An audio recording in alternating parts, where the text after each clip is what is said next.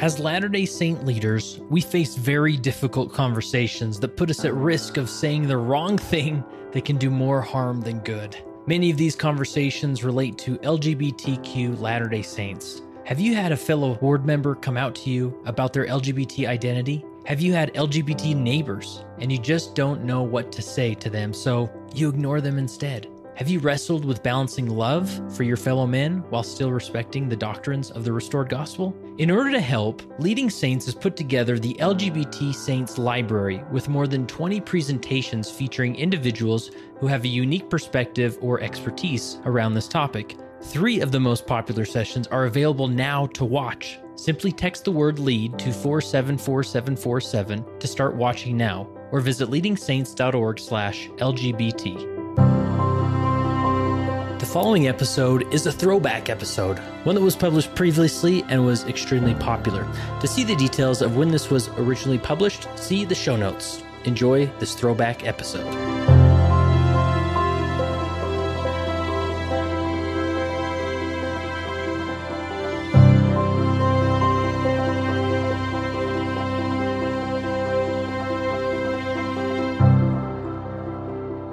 Leading Saints is a nonprofit organization dedicated to helping Latter day Saints be better prepared to lead. And we do that through various ways, including this very podcast that you're listening to. I hope you subscribe, maybe leave us a review while you're at it. And I think you'll enjoy the content you find on this podcast. And then jump on over to leadingsaints.org and you'll find thousands of articles dedicated to leadership context as it relates to uh, being a Latter day Saint. Uh, we have virtual summits that we've done. Check us out on social media and also a, a weekly newsletter that goes out that has unique content you won't find anywhere else. So uh, jump into the Leading Saints world. We're glad to have you.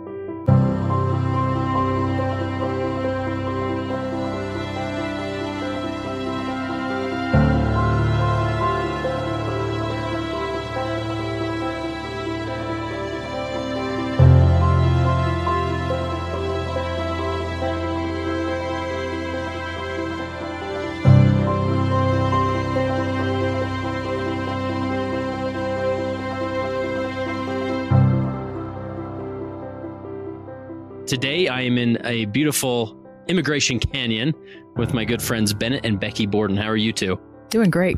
Thanks, Doing very great. well. Well, and I f- first met you two at the North Star Conference back in, uh, what was that, March? March. Of 2017. And you were there. You were one of the keynotes to talk about your experience. And nonetheless, let's just get you two in context. And uh, Bennett, we'll start with you. What, how would you describe your upbringing, where you're from, and uh, maybe what landed you on a mission? Sure. Thanks, Kurt. Yeah. So I'm from a small town in Tennessee outside of Knoxville, Tennessee. And so was born and raised there to first generation converts and have five older brothers and no sisters. So you can imagine what that was like growing up.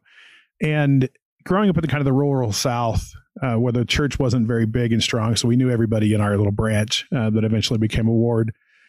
But also it was challenging growing up in the South because I had um, always kind of known since I was a little kid that I was gay. And you know, came out of a difficult kind of growing up period because of that.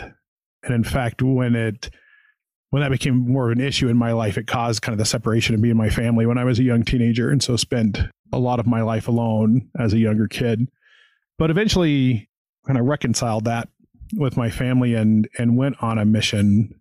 I was a sign language missionary, which is kind of a cool mission because Yeah. you get to uh, uh, instead of going called to a mission, you're called uh, every time you transfer, you transfer from mission to mission, which was nice. And so I spent uh, the first eight months in Indiana.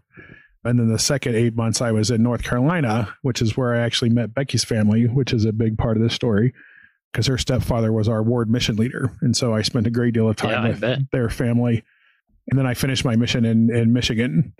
But throughout that period, you know, same sex attraction was really part of my life ever since I was a, a small child. And so that really became a predominant issue in my life. But that took me through my mission anyway. And Becky, what about you? What's uh, what's your what was your upbringing like? So I was also born and raised in the South to a first generation convert parents. And I am the oldest of five kids from my mother and grew up a member of the church. And, you know, I, I did all the things that I was supposed to do and was president of all my little groups and president and little seminary president, and Laurel president. You know, I did Yeah, all yeah. the things. I was M- Molly Mormon. Um, but I knew from the age of probably 10 or 11 that I was attracted to girls. And, I, you know, it, I, you know, some people maybe have heard me say this before, but it, you know, when I knew that I liked girls more than other girls liked girls, I thought, yay. I thought, you know, I'm, yay, I'm special. Yeah. Um, it didn't occur to me that there was something wrong with me. I just thought, hey, I've got something. I not only do I appreciate boys, but I really like girls too. So yay me. Interesting. So I I, I kind of went with that. I dated boys through high school. I, I was never I never dated any girls in high school, but you know I I got married. Gosh, by the time I was 21 to a boy, and uh, it did, was not uh, the best decision I ever made. And uh, I ended up leaving the church during that time and was excommunicated, and which was a huge blessing in retrospect. I didn't think so at the time, but it was in retrospect. And so then it brings me to about the age of where we just left off with Bennett's story. So, but yeah, I met Bennett when I was 14. He was a missionary in our ward, and we had almost 20 sisters and elders assigned to our ward um, Wow. because it was rural North Carolina. Yeah. So there was lots of work to do, and you know, our, the, the mission he was in was half of the state. So we, when we had correlation and dessert on Saturday nights at our house, it was all afternoon and evening because there were so many sisters and elders. Yeah. So we, you know, the fun thing was because my mom was also a stake missionary at the time. Whenever you know Bennett and his companion or anybody needed to go anywhere, if they didn't have a car, you know, my mom took them wherever they needed to go. And so we spent a lot of time with him. We got to know Bennett really well in that eight months, and he just kind of became part of our family, I think, at that point. It was wonderful. And we've stayed friends since that time for the last 25 years, 28, 28 years now. Yeah. Something ridiculous. Yeah. something Something ridiculous. And so after your mission, uh, Bennett, I mean, there was still that connection with Becky's family. Just uh, you Christmas cards, maybe go visit type thing, or Yeah, quite a lot. So the, her family really became my family. So you know, her little brothers and sisters became just like my family. We were very, very close, and for really the next twenty five years. Mhm. And He was at people's weddings and school plays and family. Yeah. He came to family reunions. I mean, he was just part of our group. He was like the big brother. it was very close to that family, which has been one of the great blessings of my life. But soon after my mission, I went to BYU right after I got off my mission, and after a couple of semesters, I actually got married to a sister missionary who I was on my mission with. And it was interesting because um, she knew my background and your your background of experiencing same sex attraction. yeah, Uh-huh. and kind of what I'd gone through as a kid and and all of that. And she really wanted to marry me, and I thought, well, that's unusual, right? Who's this is going to be the only chance I have, right, of ever having a marriage. And so we got married in uh, a temple wedding, and but within a couple of years we got divorced, which was hard on everybody. But in the you looking back on it, it's it's a good thing. But it, that was really challenging for me after I had gone on my mission and done, you know, I had a temple marriage and all these things, and yet same sex attraction was still a huge part of my existence.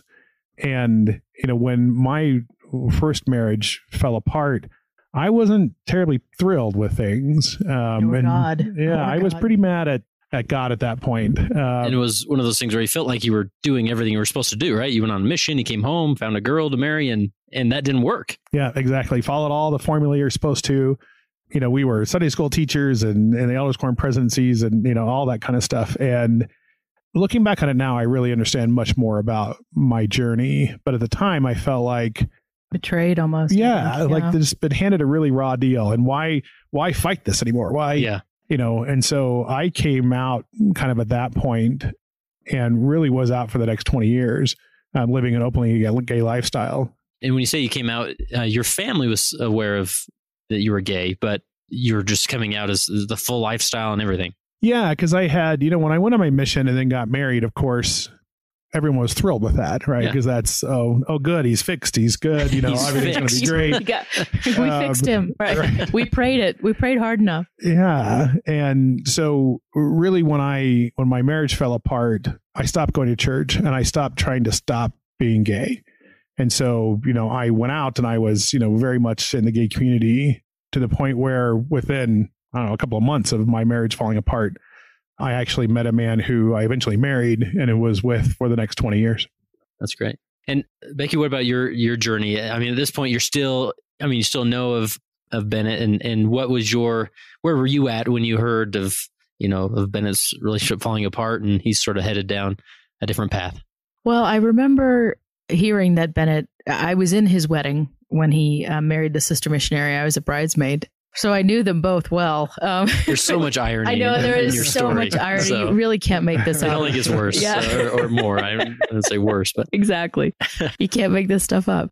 So yeah, I was in the wedding and I knew them both and loved them both very much. And I was sad that they divorced, but I, you know, it was clear that they weren't happy. So, Yeah. you know, that's way more important, I think. And I was going through my own stuff at the time and, you know, graduating from high school and, you know, going to college and then married this boy who turned out to be not, not be the nicest person to me at the time. And so that was difficult. And I knew during that time that I was interested in women. And when my marriage ended after two years, it wasn't didn't last very long, and I came out immediately because I knew I was like, I'm done with this, and and I know who I am now. And Yeah. I think I called my mom and said, sit down, and uh, told her, hey, I'm I'm gay and I'm divorcing Brian, and uh, so that was you know she dealt with it remarkably well. and I think you mentioned uh, at North Star, your family wasn't a fan of Brian. No, no, no. They were thrilled that that I think that that marriage was over. They were not a fan of Brian. Yeah, he had not ingratiated himself with my family. So, yeah, they were okay with that. And my mom said, "You know, Heavenly Father told me that this was going to happen and that I needed to be prepared for it. So, whatever it is, it's fine and we'll figure it out." Hmm. And I thought, well, that's not the response I expected. So, Yeah, I was going to ask you, did you expected sort of I disappointed I wasn't response? sure what to expect from her. I, I really didn't know, but I knew that I owed her the courtesy of telling her. Um, and I figured, you know, it's like ripping off a band aid. If I just went ahead and told her all Yeah. the things at one time, it would be easier. Yeah. And so, you know, she knows me well and she dealt with it pretty well. So when I came out at that point, I was in several short term relationships as I was trying to get my feet under me. I was 23 uh, when I Mhm. came out and um, made some incredibly terrible decisions in relationships that were very difficult for me, very hard on me, and learned a lot in a very short amount of time. I had Yeah. to ramp up very quickly. But I loved the community. I loved being part of the gay community. I loved my identity. And it's interesting because having grown up LDS and being told you're unique and you're special and you're not like the rest, it was really no big stretch to be a lesbian and be unique and You're not like the rest. I'm like, a um, peculiar people. right. And I and I was like, okay, I can I, I know how that works. I'm okay with that. And so I I had no problem with it. I really truly loved my life. I had some wonderful friendships and wonderful experiences in and amongst some difficult relationships. Yeah. So as both of you, uh, you know, went through this transition of coming out and, and going down the, the path of, you know, living a gay lifestyle, how would you classify your faith? It sounds like with you, Bennett, you were, you were sort of angry with God at the moment, but I would imagine there was still something churning within you as far as faith and what you believed and, and your relationship with the gospel. Yeah, definitely. And you know, my anger at God actually worked to my benefit because, you know, when it says, you know, ask and you shall receive, that works if you're yelling at God too, right? If any kind of communication with God. At least you're Um, communicating. Right. And because the thing that I was so frustrated with is why this is so blatantly unfair. You know, I had a wonderful mission and had a, a very deep testimony. Absolutely knew the gospel to be true. And yet this seemed being born as someone who's gay and feeling the way that I did, and yet not being able to act on any of those feelings to me just seemed like the most unfair, cruel thing that someone could do. And in that kind of dialogue that I had with God, it's interesting. I actually went on what I call a religious walkabout. And so I decided I was going to study really every religion I get my hands on Eastern, Western, Wiccan. Like I studied like everything. Native Um, American. Oh, yeah, Native Oh, American earth religions, because I figured somewhere in there, man's attempt to understand God, that even if it's a poor reflection, there's there's kernels of truth in there somewhere. And so it was very interesting as I learned all about these different perspectives on God and our role in the world. It all kept coming back to the gospel, though, right? And in the midst of that, I realized that, and this is kind of what the gay community did for me too, and being in my relationship with my ex husband, that I had value, that I wasn't a mistake. There's nothing wrong with me. There's nothing, I wasn't a mistake, that, that God created me on purpose. And that that meant that part of the bundle of characteristics that make me gay are part of God's plan. And so I stopped rejecting myself and stopped being angry at myself and started to to realize that I was a precious child of my Father in heaven, regardless of what that meant. And so while I I so I finally came to the place was okay, well I know the gospel's true, but there's nothing I can do to live it. And so I'm just going to kind of go into this pause mode, I yeah. guess, for a while.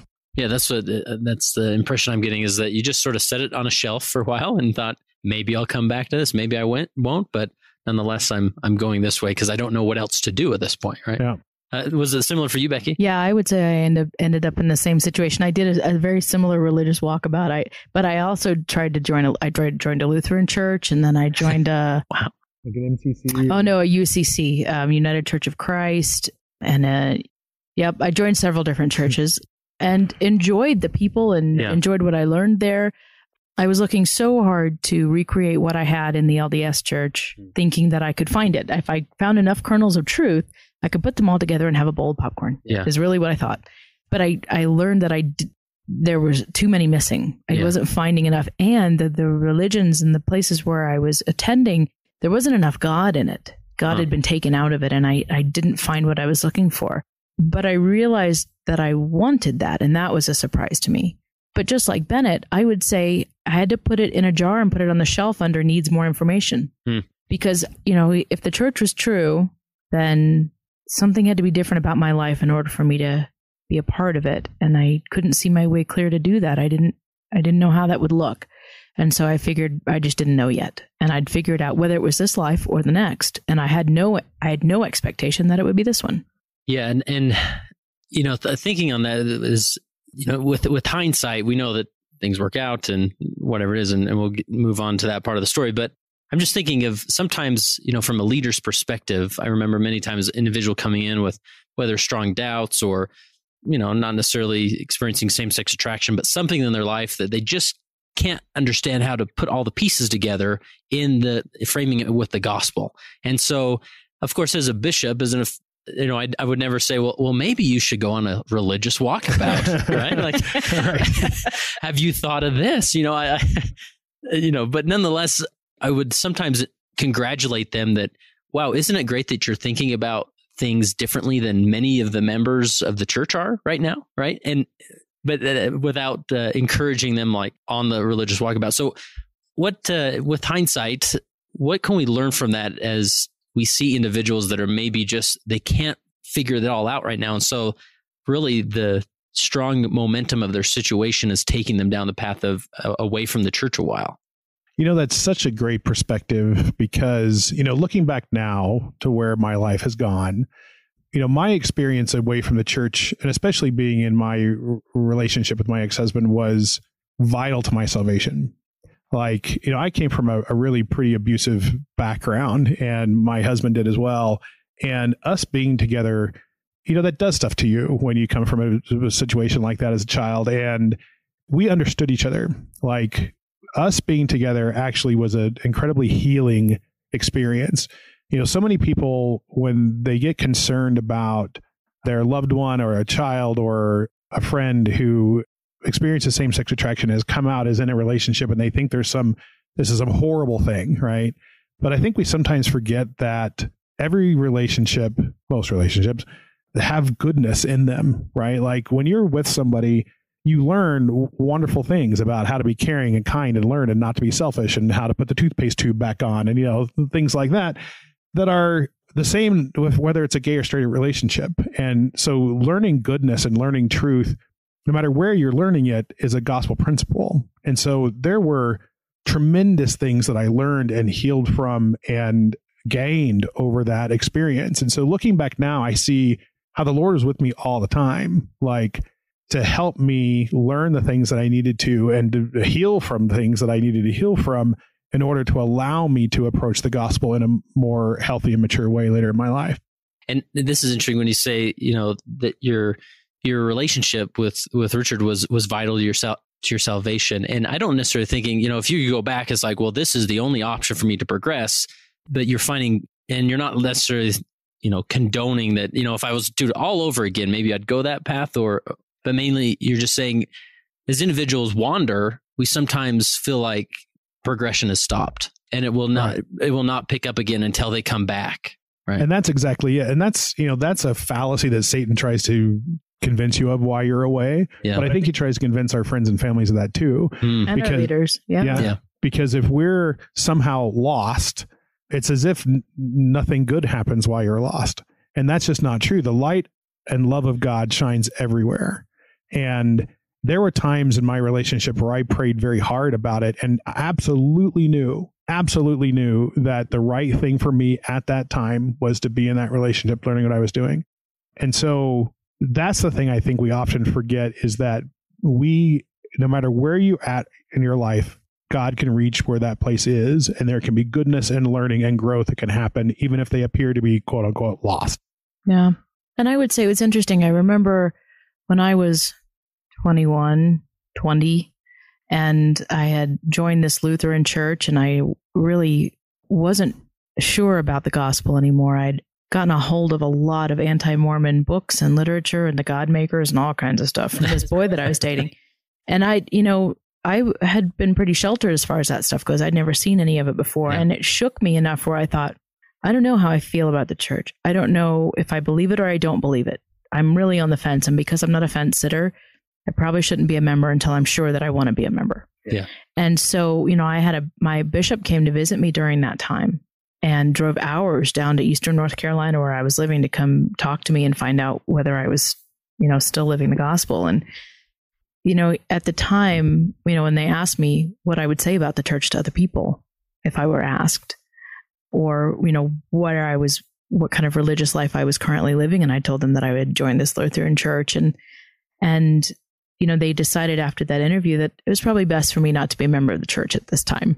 Uh-huh. And they excommunicated me. And I thought, well, how did he get that out of our conversation? Honestly, how did he even come away with that? I, and I'm so glad that he followed his inspiration at that time because the journey that I needed to go on, it was better for me not to be under the covenants that I had made for me to do that. And that's an interesting thing to be to have to say at this point, right? Yeah. But I think that he was inspired to release me from those things so that I could go learn what I needed to learn so that when I came back it would be a completely different experience. Yeah. And I'm really grateful for that. It's I can't imagine how hard it must be for a leader to follow inspiration Mm. like that. And th- this is such an interesting concept because, of course, you know, every leader, you know, if a bishop's sitting in his office with an individual, of course he's going to encourage, you know, to to turn towards the scriptures, to prayer, to do those things. Because there's definitely progress in those things as well. But there, there's such a message of hope and grace when we're able, as and it's a strong leadership principle, step back and see somebody go off and wander from our perspective, and know that that Christ still has them and that he'll be constantly reaching out to them, constantly teaching them through their life experiences. And in a, you know, in, in the hyperbolic uh, church stories and things, it's like, well, no, like you're supposed to read your scriptures and then you come back and then through the ordinances, you progress. But just, just have faith in that, that God never forgets them. And it's not your job to chase them sometimes. Maybe that drive is, is important. So you can have those communications, but sometimes just let them go and always let them know they're welcome here, but know that Christ is still in their life and, and working with them. Yeah, and you can have incredible influence on people regardless of where they are. I think sometimes when we see someone who is quote unquote lost, they're out, you know, that we we kind of close all our influence to them. Um, we don't have them over to our house. We don't go find out about their lives. We don't, and I find that that is Exactly what the adversary wants. Right. It's the opposite of what we should be doing. You know, Becky and I say, you know, because we're asked all the time, because, you know, obviously now we're, you know, as the story will progress, we're back in the church and we're married to each other in a temple marriage. And, and that, you know, we had a lot of people who were of great influence to us while we were out of the church, though. Mhm. And the thing that, the, the thing that brought us back to the gospel is being around people who had the spirit with them Yes. and then going back to our lives that didn't have the spirit with us. And many, so many times we see, we talk to parents or we talk to especially parents who kids are coming out and they, you know, they cut off contact with them or they throw them out of their lives. That's the opposite of what you should be doing. You know, being able to, you can't influence people you don't have access to. And so, you know, we need the f- people who had the biggest influence on us, especially in our family, were those who stayed in touch with our lives. Yeah, Um, and knew us, knew our partners' names, knew what they did for a living, knew if they were up for, for, for a promotion, knew when Yeah. their birthdays were. You know, and you talk about that influence is so important and, and that influence through relationships where you lay the whole, you know, I'm gay thing on top of it as well, it becomes even more awkward. Like, well, how, you know, am I supposed to interact with their their gay partner, their spouse? Am I? Do we invite them over for dinner? Should they be in our family pictures? Like, we sort of get caught up in these details because there's just such this uh, culture about it that, yeah. that interferes. That then it's just easier to keep our our space. And I, you know, as bishop, I, I think of a gay couple in my ward that we just sort of kept a mutual uh, space of saying, okay, you don't really want to talk to me. I don't really know what to say to you. So let's just not say anything. But then it really minimize my influence there. Where if I just move forward with a intent of a relationship, of a friendship, and let it go from there, then it's not up to me to know to say the right thing. Right, right. So let's uh, pivot back. I, that's a good discussion. We'll, we'll touch on that as we go. But let's pivot back to your story, Bennett. Where, where do we go from from there? You're you're now in this gay relationship for 20 years. You get married. That you know your family's still in, in the church, so that influence of you know church stuff is still in your life from time to time. So what brought you back? You know, and it's interesting. A, few years after Richard and I were together, I did find this peace and equilibrium with the gospel that I, I, felt really close to God. I read my scriptures, but I really did, you know, as we talked about, kind of just put it on a shelf. What do I do? Especially because I really did feel like I was where I was supposed to be. But I missed the gospel, right? Especially having been in doubt, having gone on a mission like Becky, you know, going to other kind of churches. There wasn't the community, there wasn't the spirit there. And over time, that weighed on me you know, and I, I kept trying to pursue happiness. And so, you know, I went to law school. I became a big successful partner at a big law firm.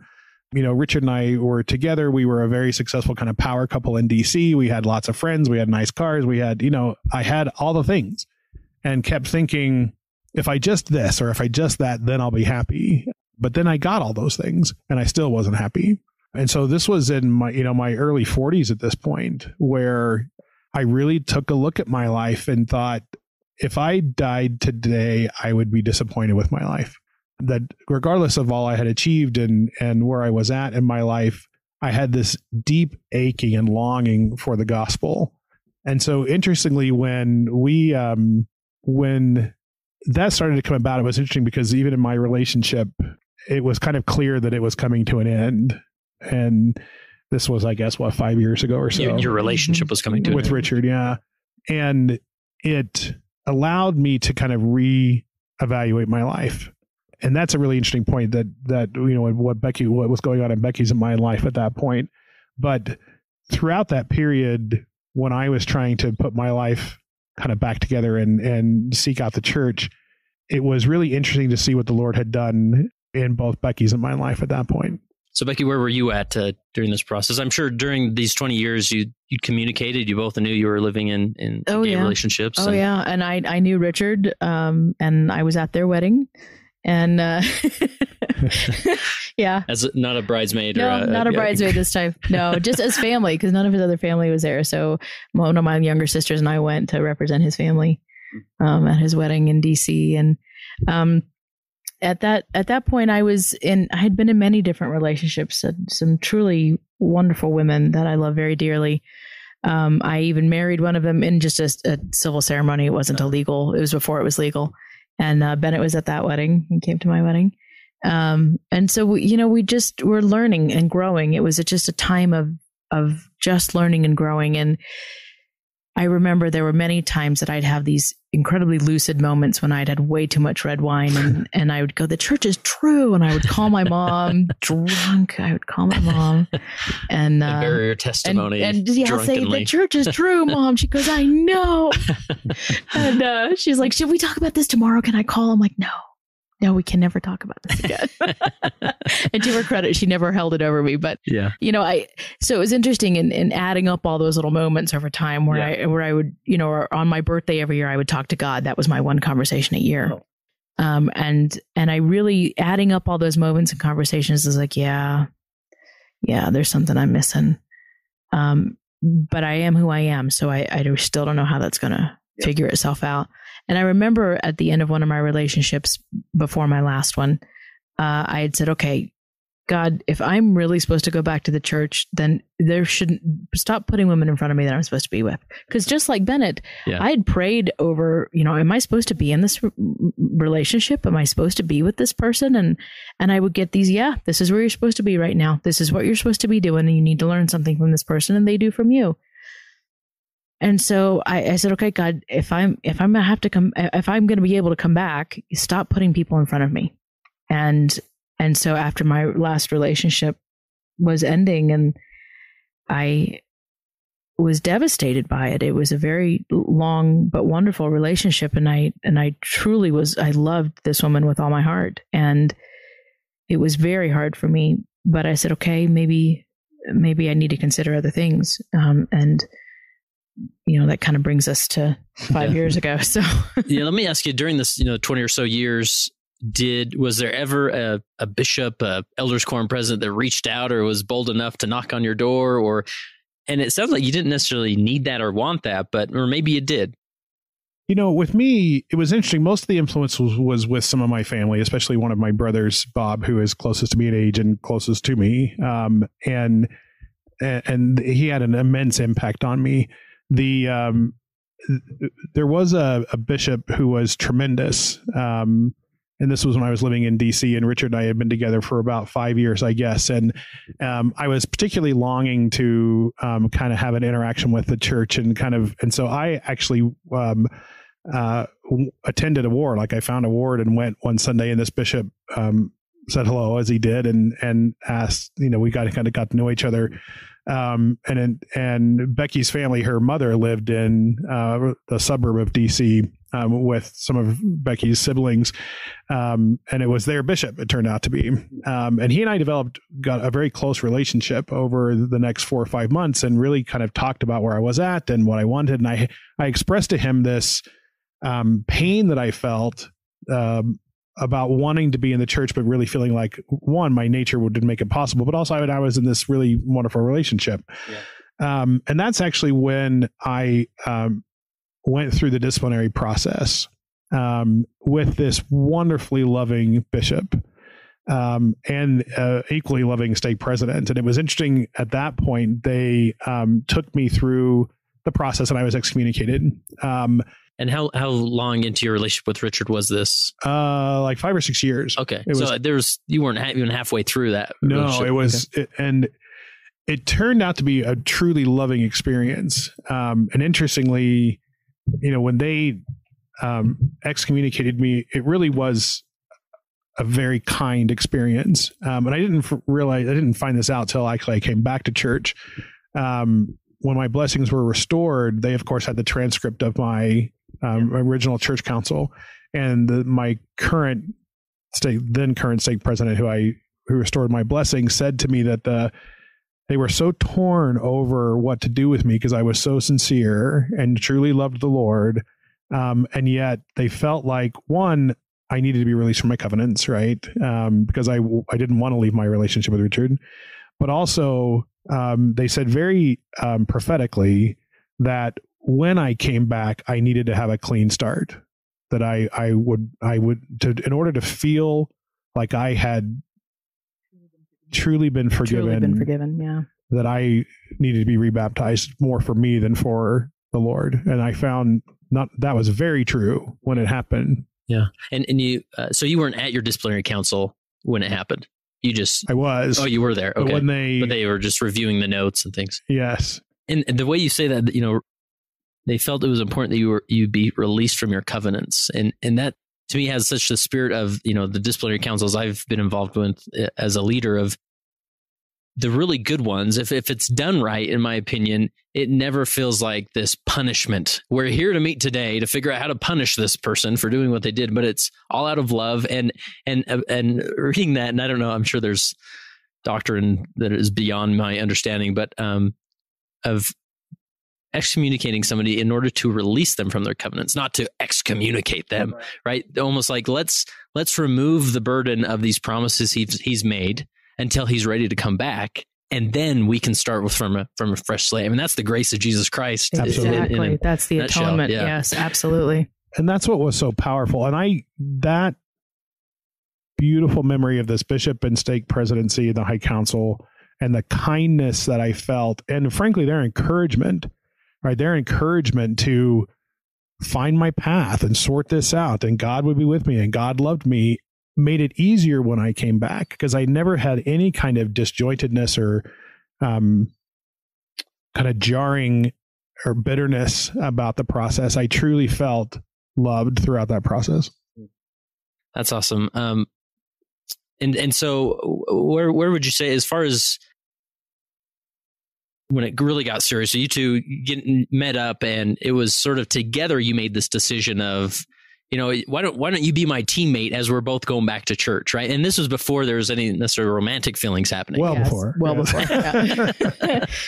It was more of a brother sister relationship It but- was. We. It is funny. My, you know, my the day that my relationship ended, in it, you know, and I was truly heartbroken and didn't want to tell my family family yet because that's just they would want to know too many details, and I just wasn't. I wasn't ready to talk, and the only thing I really could do was send an instant message to Bennett, and I said, you know, you know, my partner and I just broke up, and um, and it was it was really sad, and so um, you know, I sent him a little note and hit send and popped up on a chat window, popped up on his computer and, and, um, and he, typed, he instantly started typing back. And I thought, wow, he's online. What are the chances?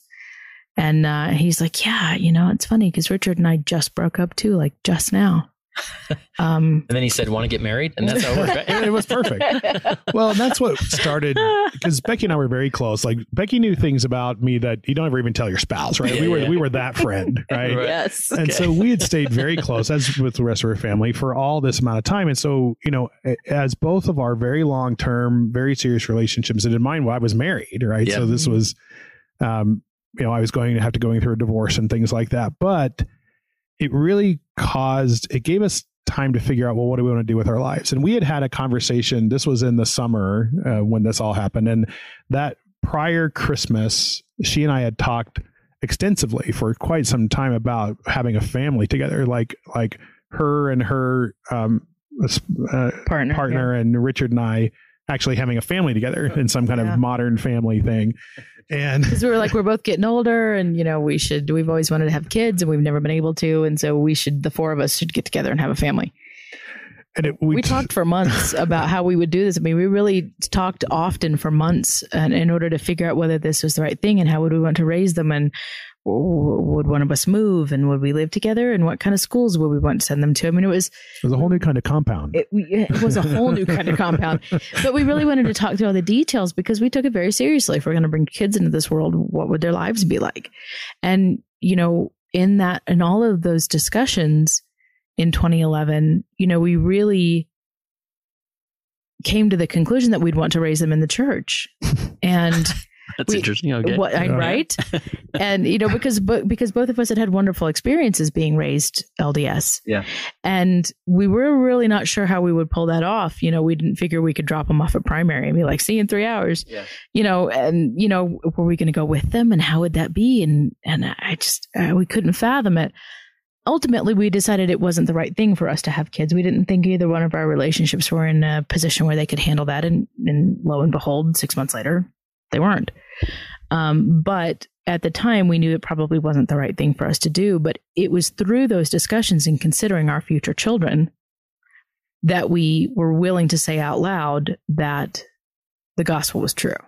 Yeah. And how we would put our lives together. Yeah. Like it was so interesting as we talked about, well, you know, we knew we were we were really, really good friends. But also we talked about what our philosophy on life and finances and you know, just just how it and so it was very clear that we would be like what we wanted out of our life, you know, that we would be compatible there. But what was more interesting is it put us in a in a self-evaluative place Did. like what do you want out of your life and what's you know and, and we both had this sense of um dis-ease right Mhm. like we were um we weren't satisfied with our lives and so it laid a lot of groundwork for now six months later when both of our relationships ended i started thinking a lot about well now what right so i was 40 what two at the time Mhm. um and you know again i had this big successful partner law No, firm 45. and 45. can't be Come on. but something anyway so but it really put me in this mindset of of I really wanted to come back to church. And I got to the point where, um, and that's really what my focus was on at first. And as Becky and I were talking through, kind of commiserating through the ends of our relationships, part of this was, well, what do we want out of our lives next? And we both started talking about coming back to church. And it was really a secondary idea. Well, if we come back, are we going to be all alone? Where you, and so that's where this idea of of could we come back together, not as together together, but could Yeah, we yeah. both simultaneously Right. come back to church? Right. So that we had someone to talk to about it. And Someone to sit to sit next to in church well, at least no, because. I lived in, I lived Oh, here and he was in DC. oh, so you were so I was in Salt Lake apart, City huh? and he was in DC. gotcha. I had moved here with my ex in a cruel twist of fate, um, and was living here in, in Salt Lake with my partner. Um, so yeah, we were we were long ways apart. So we really we just called each other every day. It was really a how are you doing today? Are you you know are you surviving? And what time of is it? How how many vodkas have you had at noon? And you know because there was a lot of that. There But you know we were commiserating with each other, but keeping each other sane. I think during that part two, somebody that we could truly talk to about the situation because we both had the same background because we both believed that the lord was in there somewhere and Yeah. that we could find him. So it was it was incredibly good for our friendship to go through that at the same time. Yeah.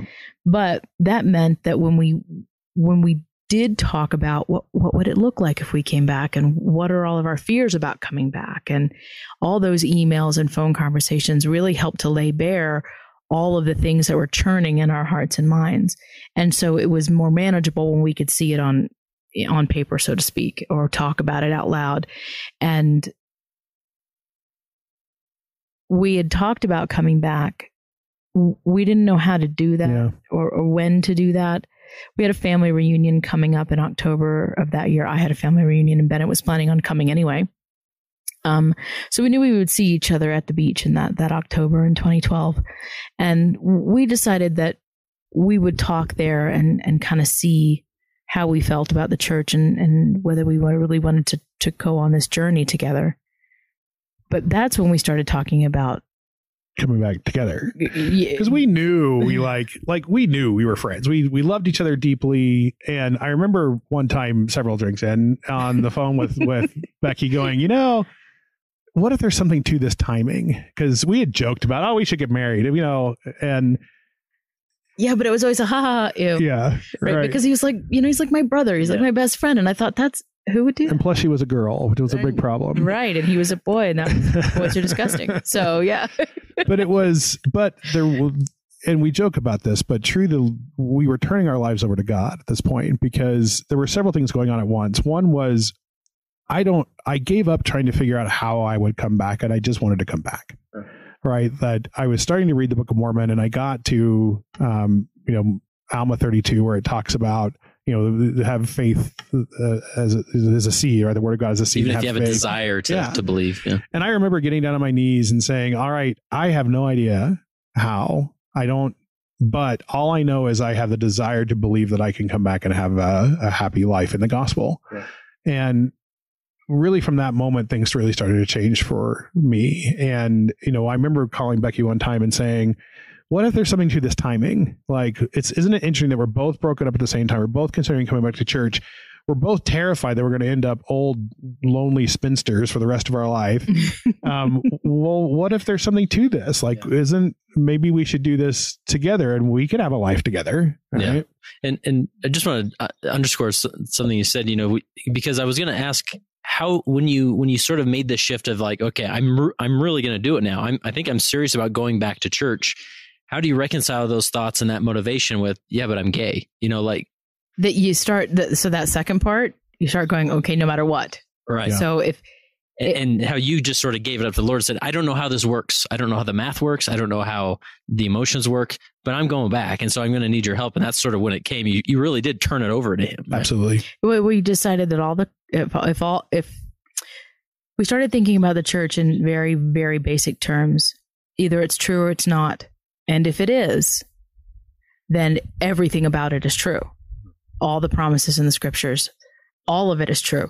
So we decided and bennett said to me one day on the phone okay because we agreed to start reading the scriptures and he said okay let's let's read the scriptures un, under the assumption that it's all true And I'd never done that before. I'd always Wow. read them with a skeptic's eye, right, or with a How did- skeptical how heart. Joseph Smith really? right and why how did this he write right that? so i so it's it really is truly different when you when you come at it from a perspective of i'm going to assume it's all true Hmm.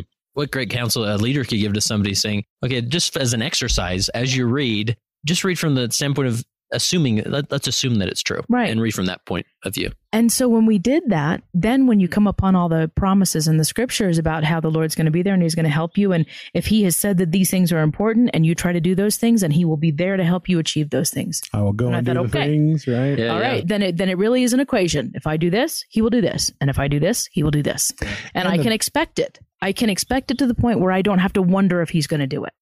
And the future became irrelevant Right. like the Mm. thing that we have learned is that the way that that the adversary um keeps you from progressing is we call it the what if hamster wheel right Mhm. like well what about this well how am i going to do that what's going to happen about this you know how are you going to do that well, who's how are, you know all those questions about the future And there's a lot. and there Yes. are And the- especially he for can cre- the adversary can can create them Yeah. faster than they can get answered.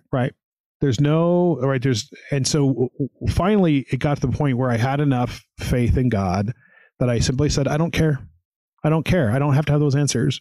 All Hmm. i need so we had this whole thing and we have these wonderful journals we kept through this whole um, process and you know there was this i was praying to god i'm like because i again i was married so i'm like i've got to get out of my how am i going to get divorced? How am i going to get have my blessings back? How all, who, all these things right? Yeah.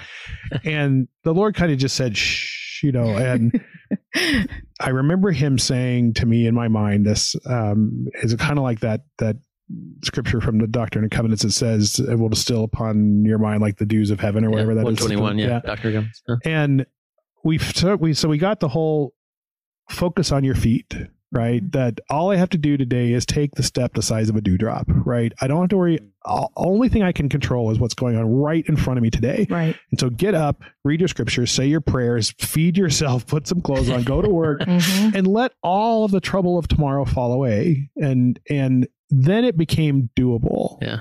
This idea of coming back to church, And so when we were at the beach, that family reunion. in that family reunion. And it's funny because when Bennett said to me on the phone that day, "What if there's something more to this timing between you and I?"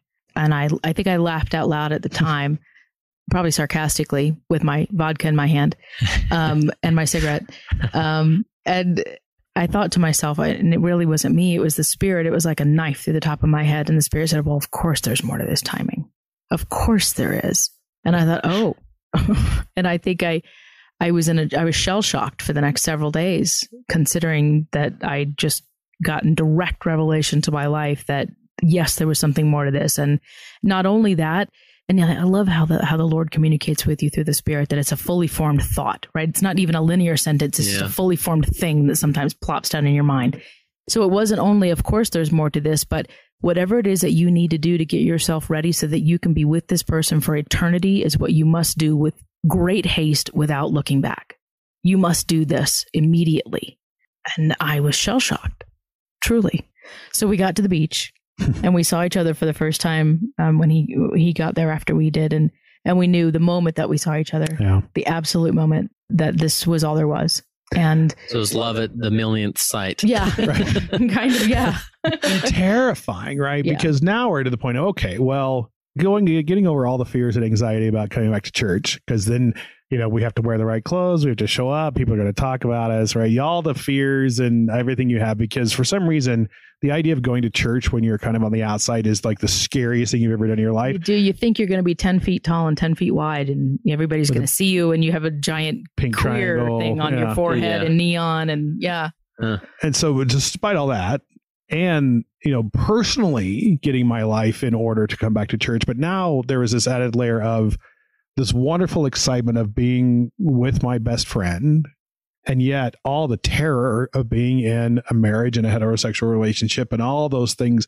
So we had these storms of anxiety and terror about how would this possibly work out. But in the midst of all of it, there was this utter peace Truly. and you know we decided we were at the beach together for three days and stayed up all night every night talking like for you know eight or nine hours about what we would do and how all our fears and anxieties and how we would move through those and but we decided the one thing we did is we got a hold of my brother Bob, and he gave us. He looked up and found the bishop's phone numbers and email addresses for both of our bishops in Salt Lake for her and in DC for me. Because we had no idea who they were. Yeah, how do you find we had that? no idea. Like, how would we Um, that? and so we made the commitment while we were there that we would reach out for a first appointment, and we did. Mhm. And it was interesting and we'll tell you those stories but it was being able to be together for those few days and feel the witness of the spirit and also that peace despite the raging storm of unknown Mhm. that taking that step of calling our bishops was a monumental step So where to go from there? You both did you both go together? No, Since- no, because I, 'Cause I, you went back home and came back you out here to, Yeah, okay. to Salt Lake, and Bennett went home to DC. So we both had called our bishops that last day, made appointments, and because we committed that we would. And then we actually had to keep the appointments, which was much far worse than them calling to make the appointment. so much worse And so uh, the first time I went, um, I was in the Capitol Hill First Ward. I was living um, up on on Second North, and uh, my bishop, Bishop Garbett, bless his heart. I came in. It was like a Tuesday night, and I'd had I was petrified of going in, and I had a lot to drink, and to, so to ease your nerves to ease my nerves. and so I was very drunk by the time I got in his office. Bless his heart. But, you know, he listened to me say everything I had to say. And the first thing out of his mouth was, Welcome back. And we love you so much. And I'm so glad you're here. And it's going to be okay. And he didn't have anything to tell me to do. He just said, Well, let's talk again. Can you come back next week? Do you think you want to come on Sunday? Because I, you know, I'd love to tell the Relief Society president about you and make sure that you have somebody to sit next to. And, mm. you know, he's a very soft spoken, very kind man. And so he's very shy. He didn't have a whole lot to say, Yeah. but he wanted to hear whatever it was I had Yeah. to say. And he said, you know, would I I asked him for a priesthood blessing, which he gave me. And he said, you know, I'd love to send my counselors over to dedicate your house if you'd like that. And Wow. and which was perfect. And so they came over like the next day to dedicate my house and my tiny little apartment that I was living in, and, and introduced me to my next door neighbor who was the former stake president. And so they had me over to dinner, and and the moment I walked in on Sunday morning to Relief Society, which is the first time I had ever been to Relief Society, I'd never been as a kid Yeah. because I left before I was yeah. old enough and the the relief society president Jane Lyman, and she says, "Oh my gosh, I'm so glad to see you." And she put her arm around me and gave me a big hug and said, "Come sit right here. This is where I'm sitting." And I could not have been more accepted and loved and welcomed. And it didn't matter to them what my circumstances were, and that was the biggest deal. It didn't matter that I was wearing pants. None of it mattered. It's just the fact that I was there. And I did. I went every week to talk to Bishop mm-hmm. Garbett and called Bennett right afterward. I mean, we, we talked about all these appointments and you know his his situation was equally i think is wonderful Yeah. and, and I appreciate these little things you mentioned where, you know, Bishop Garbett, it's not that you came in and he said the, just the perfect thing because we get in this trap as leaders that our role is to say the perfect thing, to share the perfect scripture and the pressure's on us. But it's so easy to just sit and listen in that office and, and then say something as simple as welcome back. You know, what, what what's the next step for you? What would you feel comfortable with? You know, and great story. So, so Bennett, what was, yeah, mine was very similar. So, you know, I was living right outside of DC in Arlington and called my bishop and went in again on a Tuesday, I think it was, and met with him. And again, this is a long story, right? You know, here is, I'm a married gay guy explaining my whole life and wanting to come back. And, and he was, he looked like he was about 17. Um, think he was 31 yeah, he was, but he He- looks about, uh, what's even better than that he had been called as bishop two weeks before this oh, nice. Yeah. So he was fully prepared. he was Yes, fully, fully prepared, um, but could not have been kinder. Even when I'm talking to him, like I'm telling this, you know, long sordid tale, and he was um, very kind, even as he listened to me. And and similarly, he said to me, "I'm so glad you're here. Welcome back." And he said, "I don't know. You know, there's lots of steps here, but let's just go through them together." Yeah. You know, the next day, two home teachers came to my house who are still very dear friends of ours. We had lots of opportunities to again bishop talbot didn't say anything terribly profound except i love you and welcome back and we're so glad you're here. And let's just take this step by step. Let's just figure this out together. Let's see what comes next. Can you come to church on sunday? And bishop talbot was just brilliant because he my whole life was changing. Like i was getting divorced you know richard and i were a very well-known couple in dc i was you know having to change my whole life so everything was in an uproar and having fairly often contact with the church. I couldn't hold a calling, couldn't do anything. And Yeah. so he put me on like the building cleanup committee. You know, that we like I like one of the early things Becky and I did After was I moved to DC, I moved to DC a few months later. Yeah. and he put us in charge of like inventorying the library. You know, like st- the stuff that we but it was great fun. We Luckily, you met- had a law degree. You can I know. Well, we and we asked, you know, what can we do? How can we be involved? Because we can't hold callings, we can't say prayers, we can't do anything, right? Yeah. Because we're not going to be baptized for months and months and months. And it was wonderful to be able to be of service. And bless his heart, he sent the missionaries. We had several sets in our ward of missionaries. There were missionaries in our house like every other day. I think They you would called them all and said, stop "Stop at the Bordens. Yeah, stop that's at the right. Bordens today. You should stop at the Yeah. Bordens today." And they did all the time, and it was great because we would put our wine away. You know, it was it was wonderful because they brought the spirit into our home. Yeah.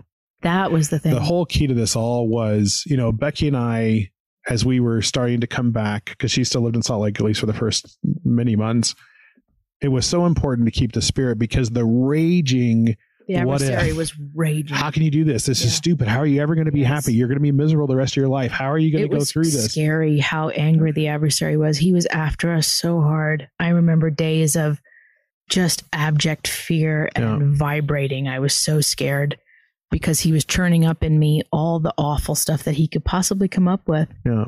It was hard. It was Yeah. hard And work. so being able to focus down and focus on your feet, that became our mantra. Focus on your Mm-hmm. feet. Just take one more step and make one more choice.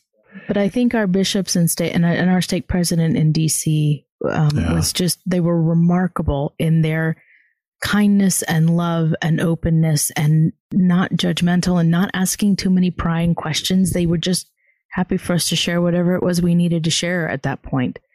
And when we asked about next steps, they were like, I don't know, let's figure that out. And it became something that we did with them as opposed to a, Yeah. a, a process we were a victim of. Yeah, and, and so this time you're you're both you're now I've, living. I've moved to DC, You've moved to DC, a few so- weeks before we got married in Oh, okay. 2013. Yeah. So marriage was on the schedule. oh and- yeah, and, uh, we we as soon as his divorce to Richard was final, we got engaged, and that was in February of 2013, and we were married on June 1st of 2013. So I am in a civil wedding in at, at the uh, At the ward at the building. ward building. Yeah, our, our bishop married us great. at the ward building in DC and or in Arlington. So yeah, we I had moved out there in May. So uh, what I'm hearing is, you know, obviously that your bishop as well was opening, open, welcoming you back.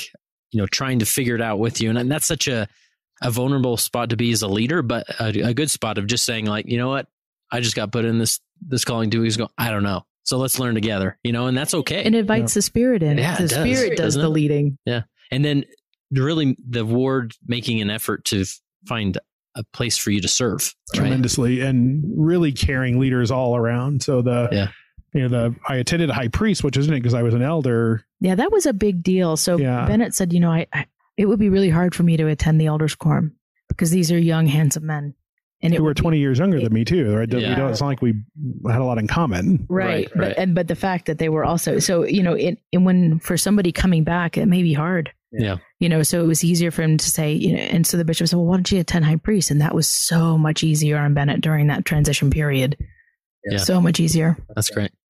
So there's an interesting uh, twist. I don't want to call it a twist, but a, a happy uh story that, that parallels yours that and involves involves Richard. Tell us a little bit about that. Yeah, and this was because you know I loved and love Richard very much, and and he, Becky knows him, had been known him my whole marriage, and he was very close to us, and you know, so when our marriage fell apart, one I I tried very hard to leave that relationship with kindness and love and charity, because you know often those things are not that way, Right. um, and yet we had spent 20 years together, had spent so much healing and love um, with each other. And so when the, that relationship ended, it was really important to me that it did so in a kind way. And he knew really fairly immediately that I was going back to church, was very supportive because he was close to my family, right? He was, you know, all my Mormon brothers and their wives and kids and my parents. And, right. So he had been ra- around the church for years. And so he was very supportive of me going back to church. And it's interesting when Becky and I got married, we started having family reunion together. And Richard would come over often, and he came over one Monday, and we're like, "Oh, we're starting a family evening," and so I just started in. and he happened to come over, I think, the next Monday. And so I was teaching the first lesson, and Becky was teaching the second. Becky turns Mine was to him. the plan of salvation, and I'd done it. I knew he was coming, so I'd done it on giant post-it notes, Uh-huh. and, like drawn the whole thing out. And he's like, "Can I take that home?" I mean, he'd never seen anything like it, and Yeah. he's like, "That's fantastic. I need, I need to take that home and put it on my door so I can look at it and understand it." And I said, "Well, great, because next Monday it's your turn." Because Bennett did the first one, and now I've Yeah. done the second one, so now it's your turn. He's like, "What do I do?" And I said, "Well, flip to the back of the scriptures, pick a topic, look up all the scriptures you can find on it, think about it, pray about it, and tell us what you feel." Uh-huh. He's like, "I can do that." So he did. he So he did. Went home, did the whole thing, came back next Monday, taught us a lesson on the Holy Ghost. the Holy Ghost. Yeah. Wow. Yep, or humility, or I don't know, it was Yeah. something wonderful. It was just a wonderful experience. and it, it's so interestingly because we we were in DC only for about a year, and when we moved out here to Salt Lake, Richard kept an interest to the church. Um, actually took the missionary lessons and was baptized a couple of years ago now, and then just last year, um, I had the great blessing of actually being able to go and ordain Richard as an elder. Yeah. That's that's incredible. Yeah. I love that story. And and you know, and there's so many just these tender mercies throughout Yeah. Your experience and and at the same time recognizing the the the tactics of the adversary and the fear and the the what ifs that he's he's putting in your mind. But um and to see, you know, as other lives are blessed as well, like Richard's and and see him And that's what's so important to keep in mind, Kurt, is that looking at the end now, looking at mine and Becky's and even Richard's life now, where we are, you know, Becky and I um, are endowed and have an eternal marriage, and and Richard is a priesthood holder, and and it took 25 years of Right. wrangling and wandering to get us to be able to be at this place Right. and you know we look back and see all the twists and turns of our lives that made it possible for us to be happy and healthy in the gospel and i couldn't if we hadn't had though that circuitous path, we wouldn't be where Right. we are now. And so many family and friends and leaders forget that part. Yeah. That sometimes when you're talking to that 22 or 24 or 26 year old kid, you know, and they're like, "Oh, but you can do this." The board, and you know, I know people that have done this. Well, sure, but their experience was Yeah. different, and sometimes you have to go through the journey in order to arrive at the destination. yeah. You know, And I don't it's not that you're saying we found a model that Yeah, works. not at all. So here, here's the model. Go to give this to your your Yeah. wayward son or daughter, and it'll work, right? all. But you're just recognizing the value of your journey, the progress happening outside of the gospel, quote unquote. You know, and during during your keynote at North Star, Bennett, you mentioned something about I don't know if it was a parent that asked you, but you know, a parent of a of a gay child is saying, "How do I pray for my my son or daughter who is you know living a gay lifestyle? Because do I pray that they're happy? Do I pray that they come back? Uh, what do I pray for? Yeah, expound on that. and you know, this is where one of the things that have been so joyous for becky and i is being able to get to know people who have same-sex attraction their families their leaders their friends and being able to just talk about what is so important to us what changed our lives and one of this we we met a mom um, whose son was in his late teens and, and coming out and she was she literally just heartbreakingly asked us what do i pray for and you know we said well you pray that you can have an influence on him that he will have the experiences that he needs for his salvation just like anybody else Yeah. Whatever you pray for for your other children, right same, same. And then be there Right. right? The thing that has the most influence like i look back on my family some of whom were very accepting and some of whom were simply weren't. Yeah. and the ones who were not just had no influence in my life at all. Hmm. and yet my brother bob who i'm who i love very dearly had us had me and richard at their house all the time for thanksgiving and christmas. And we were there. We were close to them like family should be. Yeah. they cared about my life and richard's life and what we were doing. And it was that that allowed them to influence us hmm uh, I think the same with Becky's family. Yeah, I would say that. And I think some of the things that my mom probably prayed for over the years, not just that I would have the experiences that I needed for my salvation wherever I was in my life, but also that she would know Yeah. what to say, that she would know how to bring the spirit, that she would know when and what to offer to me. And praying for that guidance as parents and friends and leaders pray for that guidance to recognize those opportunities when they come, but that they are also praying that they can have the spirit with them all the time because it was the spirit with my mother that made an influence on me Yeah. and with my sisters and you know the, the times that i spent in their homes where the spirit was present that was the most important part is that they were praying for the insight and understanding and influence of the spirit in their lives Yeah. And when we say touched by the Spirit, we don't mean that we sat down to family meeting with these people, right right? Like, like one of my brothers, um, who I truly love, and who is my my most Mormon of all brothers, We all got one. he, uh, um, and truly loved me, but really felt like he had to tell me that my life wasn't going wasn't right. Like he couldn't condone it, certainly. So therefore, he wouldn't do anything with me. I wasn't invited to his home because he didn't want to condone my lifestyle. But then he never failed to take the opportunity to tell me that wickedness never was happiness. And you know, finally, I blew up at him one time, and I'm like, that does no good. What possible good does that do me? It's like telling a drowning person, don't drown. Drowning's not good for you. You shouldn't breathe that water. That's Yeah. not good for you. It's useless. It Yeah. doesn't do anything. hop in the water Yeah. Right. Go to where you are. Right. Right. And it is. and that's what it is it's go to where you are my sister and my mother invited me over they never said but don't bring your partner or don't bring any wine into this house or no you you know i know you're coming from christmas for christmas with your partner but you guys can't share a room or you can't you know be affectionate in front of the kids or we don't want to have to explain that They're, they never said any of those Yeah. things you know when i had wine in the house and the kids are like well what's that oh that's wine well we don't drink wine that's right we don't we love Becky. but we love Aunt Becky. We're glad Yeah. she's here. You know, th- there was there was no discussion around it because that's okay. Yeah. They honored my agency. That's just something Allie Isom said in her keynote at North Star. She talked about honoring her child's agency. And when her child was, you know, dying from a, a very significant genetic disease, I think, or something like that. But anyway, it is that is the thing that I have learned most in this is that through our journeys, the people that honored our agency and loved us at the same time, those are the people Right. that had access and influence on us. and ultimately, that's was the source or influence of our conversion. Yes. Right. Is because, uh, like I said, after I tried everything, success, good partner, you know, all these things, to, I still wasn't happy. But I would walk into their homes where they were doing like one of the best experiences I ever had was we went to Becky's sister's house and they had just they had little kids and they had just finished reading the Book of Mormon for the first time. It took them like three years, and they had a Book of Mormon party Uh-huh. where you wrapped a towel around your You head, all dressed up as your favorite and you dressed up like your favorite character, and you told their story. and it was one of the most poignant, beautiful things to see this little family and the love they shared, the spirit that was in their home. And then I walked out of that room and went back to my my opulent Mercedes Armani suits life that was dark and dank and empty. They never said a word to me.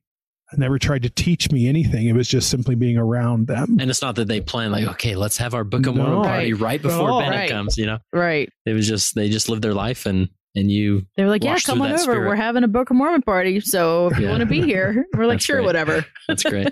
well, uh, just to, to close it up here, I have a few, uh, maybe one more question, but what would you say? I know you're more and more involved with North Star. Maybe what's the ask there that, uh, what, what do we need to know about North Star? I've talked about it a lot on our, the podcast before, but uh, what's your involvement there and how could uh, leaders leverage it and use it to, to understand these situations better? So we've been really touched by. We didn't really know North Star um, when we were out in DC, like we had when we first came back to the church. And and Becky and I spoke at a conference that was being held out in, in, in DC, and we we were then introduced some people at North Star, and it's really a beautiful organization. That is the whole purpose of the organization is to help people who experience same sex attraction, the LGBT community who are Mormon, try to keep their covenants. Their whole mission is to help you develop a relationship with God and with your community, your family, and your leaders. And so it's a wonderful resource uh, at northstarlds.org that has wonderful resources for those of us in the community, but also our our leaders and families. And it's been as we've gotten to know them, we have been so touched by the work that they do, and even in our own lives, to the point where we've now gotten kind of officially involved. Um, and so Becky and I, just in the last few weeks here, have uh, gotten involved with the board and the executive committee of North Star. That's great. Well, and just in, in, in closing, kind of the last question I have is what would you say to those out there that maybe they're they're a few years back in, in the process you were where they're they're feeling this need, this emptiness. They want to come back. There's a lot of what ifs. And you know, maybe a, a they're going to a leader and he doesn't know what to say to them. What what would be your message to those individuals that whether it's, you know, experiencing same sex attraction or not, that are just paralyzed by the what ifs and the adversary coming at them? Becky, why don't you? Uh, you know, it's interesting. I was reading recently that one of the, and I think Elder Holland said, one of the most disobeyed commandments of the Lord is fear not and worry not. And we spend so much of our lives fearing and worrying about anything and everything. But the Lord has said over and over and over, fear not and worry not. And that is one of the things that I think we have truly learned in this journey is that the Lord is truly on our side. And all the things that He has said that are, that are important for us to do and important for us to pay attention to, He will be there to help us achieve those things, the speed of which will be perfectly suited to what we need. And the biggest thing that we learned and the biggest thing that I would say is focus on your feet. Yeah. Do what is in front of you. The rest of it doesn't matter yet. Those choices are not before you yet. So, all the things that you may be worrying about or maybe fearing that will come or not come to you in the future, you have no idea what the Lord's going to pull off. We had no idea yeah. what the Lord was going to pull off. If you had told us this four years ago, we would have laughed, yeah. laughed at you, right? Or five years ago. So it, you have no idea what's going to happen. And you, assuming that you do know what's going to happen and that you're going to predict what the Lord's going to be able to do or not do for you, it isn't wise. Ye are as little children and cannot understand all things.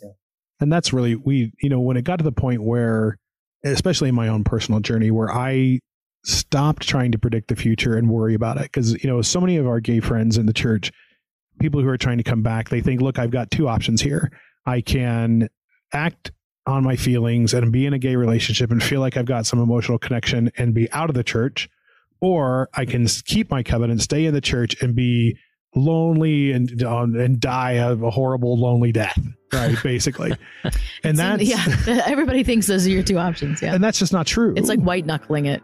It's not one you have no idea what the lord can do. You have no idea what the lord can do. And you know like becky said the thought of me being in a heterosexual relationship that is beautiful fulfilling in every way was impossible. I never in a million years thought that i would ever be in that or even want that and yet, once we focused on our feet and turned the future over to the Lord and didn't disbelieve what the Lord could do, right? right then it's when the love started to blossom between us and the relationship developed between us to where now we have this beautiful, wonderful, eternal marriage. And so, focusing on your feet and believing that the Lord can do anything, that is where it really changed the world for us.